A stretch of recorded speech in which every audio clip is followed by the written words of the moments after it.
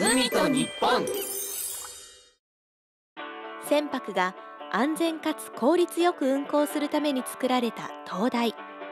しかし GPS の登場などにより航路標識としての必要性は薄れつつあるのが現実です。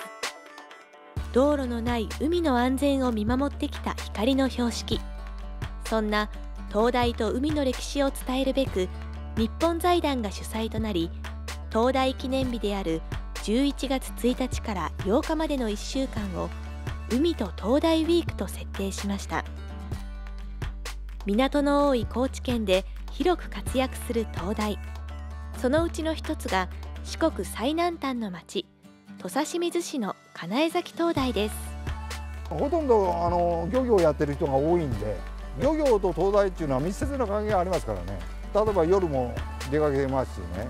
あのやっぱり水しるべがないと入る道が分かんないから。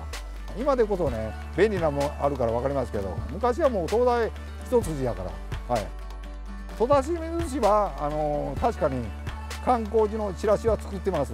でもここはほとんどね花田がちょこっと出てるだけなんです。そういうので集落活動センター島口の観光の担当になった時に自分こっちをメインにしたチラシを作ろうというふうに自分なりに決めてました。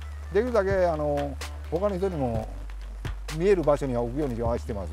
明治44年にできたんですけどやっぱり古いものにも良さがあるんでやっぱり見直す雰囲気も出てきてますよね。いろんな日本の灯台をもう一回見直そうとか。